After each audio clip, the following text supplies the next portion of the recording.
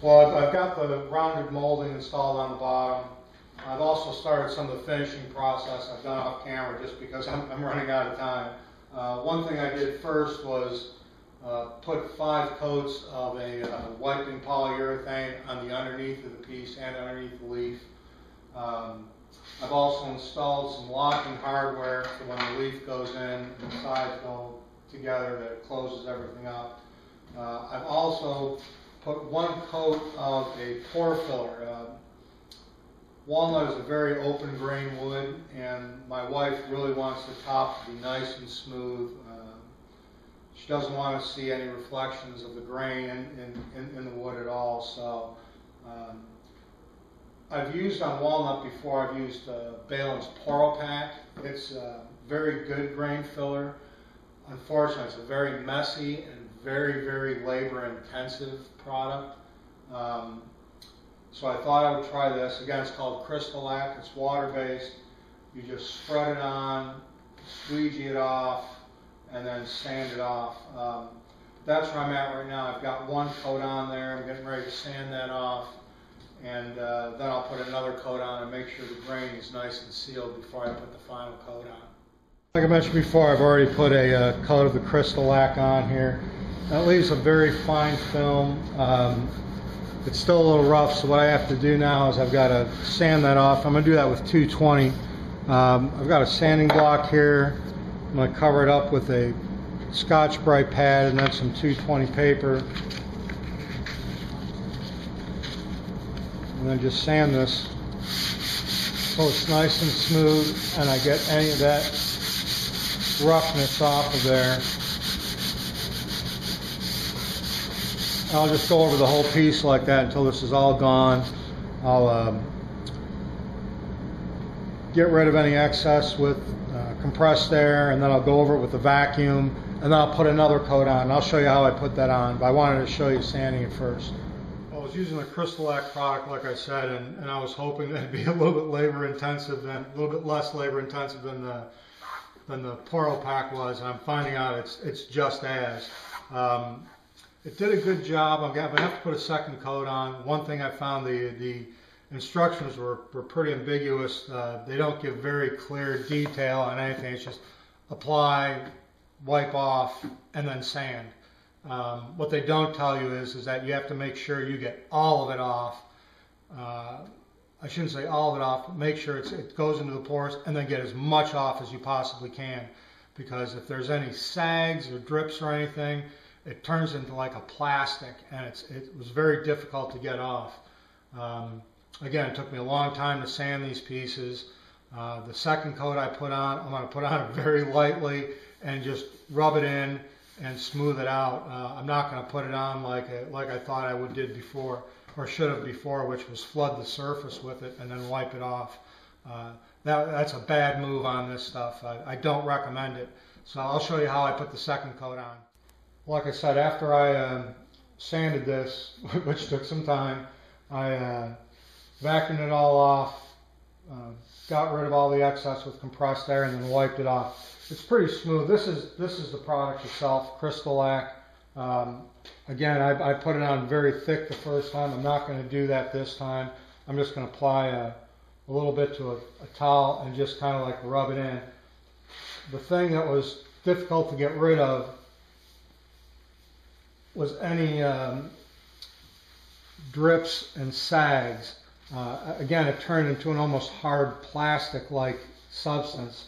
And uh, very difficult to get off. I had to do some scraping uh, on the edges. It was really uh, a problem on all the edges. Um, so I want to be really careful when I put it on this time and uh, go with the grain as much as possible and just work it in like this. And that's about how thick I think I want to put it on the, the, the second time. Well, this is after the second coat got put on um, of the Crystalac. I'm gonna let this dry for a couple hours and then I'm gonna sand it. This was went on much easier this time. Again, you know, uh, new product. I probably should have tried it out on this project, but uh, we all have to try things sometimes. So um, it's probably going to take I'm going to say that since a light coat I put on this time, maybe three coats of this to fill in the grain or fill in the pores the, the way I hope to. Uh, in the meantime, I'm going to start uh, putting some finish on the leg, actually the second coat of finish on the leg. I'll show you what I'm doing on that, and it's pretty much going to translate to the same thing that, I, that I'm doing here on the, uh, the tabletop itself. I've already put one coat of the uh, blend that I use to, to, to finish furniture like this. I've been using the same process now for, I think, 14 years. Um, what it is, is it's a, a polyurethane 50-50 uh, with naphtha. I put a very light coat on, and then I go over it with steel wool. I blow it off, I tack it off, and I keep repeating the process. I usually put about six to seven coats of this on. Um, the nice thing about it is, is it dries very quickly that way. Sometimes I can put three coats on in a day if I start early enough in the morning. So about like three, four hours between coats. Uh, so in a weekend sometimes I can get a project finished. It works out pretty well. All I want to do again is just go over this very lightly with, I'm using a quadruple aught steel wool. I'm just going to go around this and lightly get rid of any nibs or anything that are on the, uh, the finish. Blow it off and then tack it off. After I got the piece cleaned off from the uh, steel wool tack cloth and a little bit of compressed air, this is this is my container for my mixer. I'm using a water bottle. Um, what I'm going to use is a, to, to, apply it is just a piece of, of lint-free towel. I'm just going to put some on here. Make sure I get a nice saturation on the rag.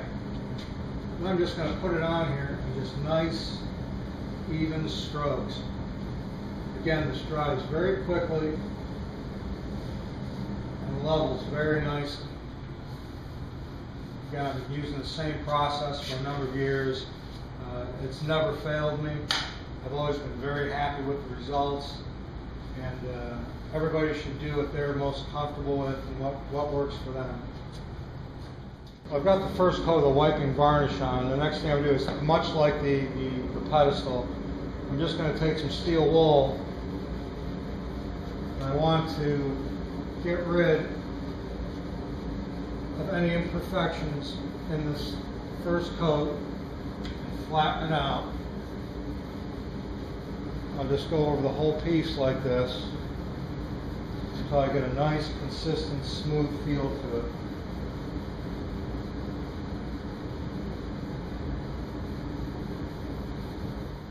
Well, after I flatten it with the steel wool and I've gotten rid of any uh, dust from the steel wool with uh, compressed air and tack rag, just like the pedestal, I'm going to start applying finish to the top again. This is the second coat.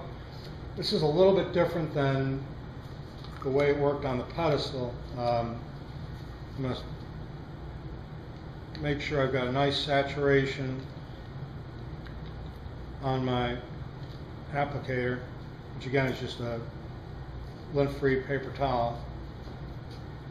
I'm going to start at one end and just make nice, oh,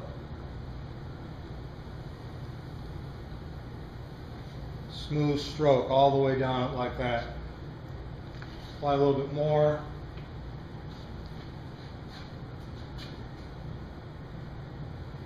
Overlap a little bit.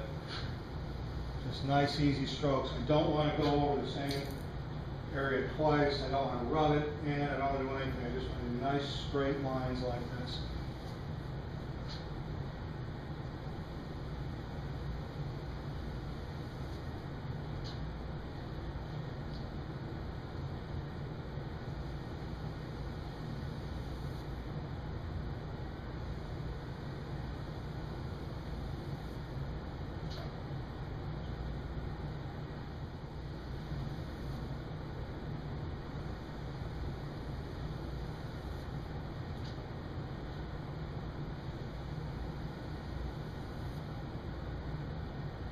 there's any bubbles or anything else like that, I'm just going to leave them in. I do not want to go over them again.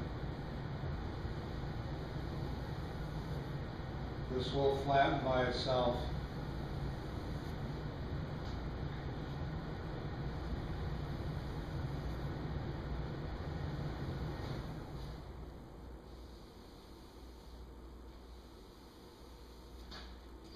Always make sure to do the edges on this last.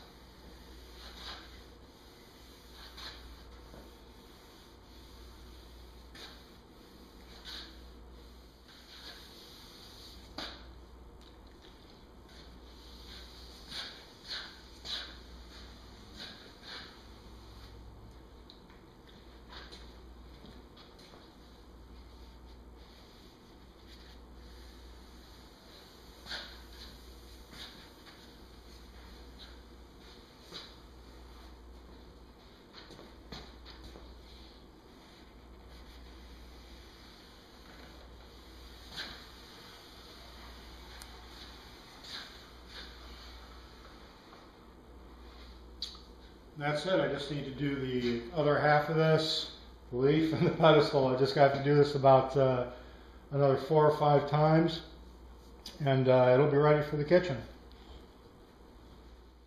Well, here's the table in its final spot in my kitchen. Uh, it came out beautiful. My, my wife is extremely happy with it, and that's probably more important than anything, as, as most woodworkers know. Um, it was a very difficult project. It took me a very long time to do. A lot of it had to do with uh, videotaping this for YouTube. So if you've stuck with me for uh, the four months it took me to do this, you know, you're you're you're, you're a very patient man. Um, let me put this together. I'll put the leaf in, and again the locking hardware is in. Unlock the table. Move these chairs out of the way.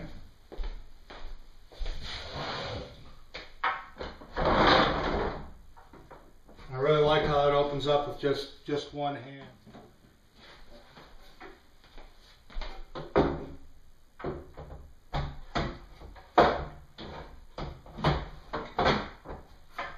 Set that in place and close it up.